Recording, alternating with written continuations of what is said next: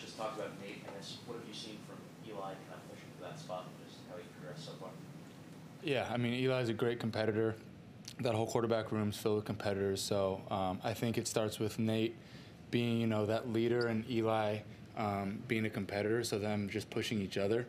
Uh, they've they've done a great job, and Eli's Eli's been doing a really good job making plays out there, leading the twos, and doing the most with all of his reps that he can. What's it been like uh, playing for Coach Bernowski and Coach Bell? We, we hear a lot about their energy. Like, how is it actually on the field? Uh, at times a little bit crazy. I mean, they're flying around, they're running around, um, they're electric. Um, I know there's a lot of adjectives to describe them.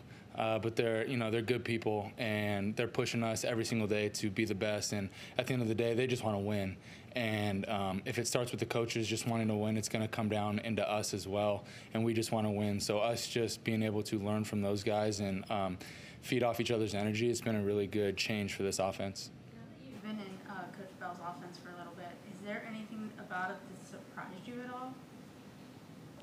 Um, nothing that's really surprised me. Uh, I mean, I guess the biggest thing that surprised me is everything that they said. You know, coming in from the very start um, has has been true. You know, they want to go fast, they want to score points, um, they want to push the vertical game, but then they also want to come back and run the ball down the down the defense's throat.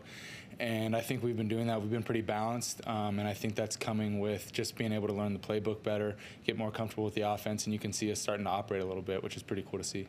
You guys, like, do you uh, Gavin, uh, will you be on the field together? Are two tight end sets, or is it kind of like more? You guys are kind of rotated. Yeah, our offense is, is based mainly out of 11 personnel, but um, we do have the ability to get into to you know multiple tight end sets. So um, that's something that we're excited about. We're pretty multiple just as an offense in general. Um, a lot of different you know formations and personnel, so it, it stresses the defense defenses out a lot. So I think that's something that we could use to our advantage. How did you choose Pitt?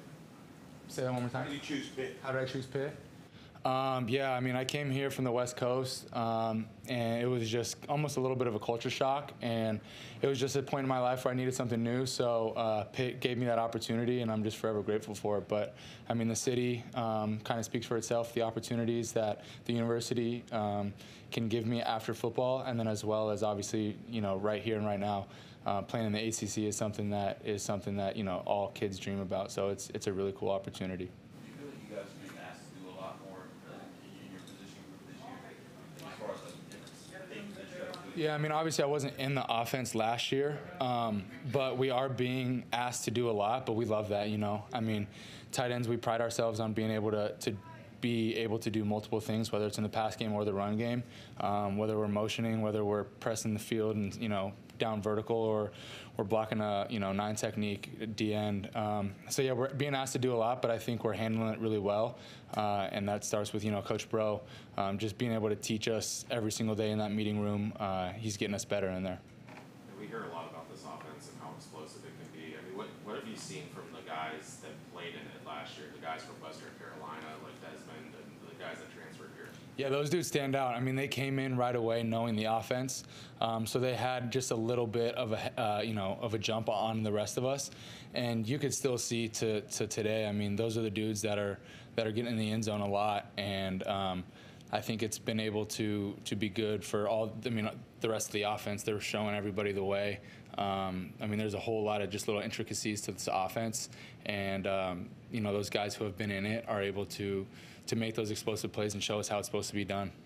When you guys are doing team stuff, how, you know, how long does it take between plays for you guys to the ball how fast?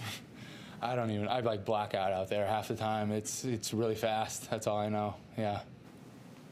Who else on the offense are you surprised by, just in terms of the talent or anything, anything else you've seen so far? No, I mean I think our offense in general. I mean, you know, we're we're still getting things cleaned up, but that's normal, right? I mean, it's fall camp, so I think that's the time to clean things up. Um, but it is just a little bit less than four weeks till game day, so I mean, we're we're uh, honing on honing in on things, and we're getting things cleaned up pretty quickly, and you can start to see our offense, um, and we're starting to hit at full speed. Uh, so I would say just our offense in general and how how we've really just um, grown just tremendously this offseason. And the jump from spring ball to now is just night and day difference. So we're ready to go. What's it been like working with Gavin? It's been great. I mean, Gavin's Gavin's now you know one of my buddies, so it's it's always fun when you get to work with you know a buddy rather than just a coworker. So I've been able to learn from him. I think hopefully I've been able to um, or I've been able to help him as well. Um, so I mean, just the whole tight end room, we're we're bouncing ideas off each other. We're being able to play with each other, and I think we all bring different skill sets to the table. So I think that's something that uh, has been cool for all of us to be able to learn from one another.